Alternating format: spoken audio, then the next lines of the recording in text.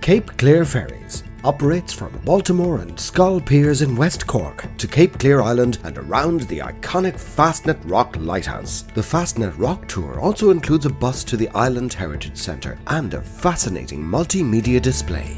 Enjoy stunning views of the West Cork coastline with frequent sightings of whales and dolphins and a first class introduction to one of the most iconic landmarks on the wild Atlantic Way.